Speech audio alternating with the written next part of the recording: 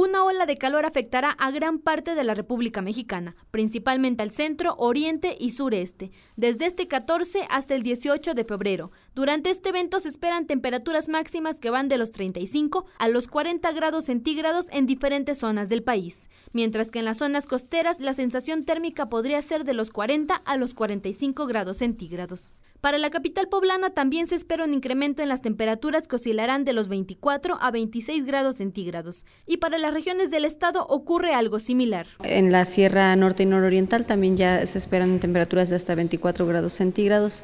Estaban eh, las temperaturas más bajas.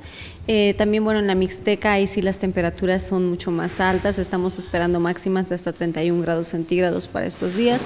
La zona de este Tehuacán también, 27 grados centígrados. Ante esto, los poblanos ya se preparan para afrontar la ola de calor que azotará a gran parte del país. Pues ahora sí que tomar agua, ahorrarla también porque la verdad este, a veces en calor suele faltar. Y pues, pues sería... Comer cosas frescas. Comer cosas frescas, sí, exactamente, un heladito.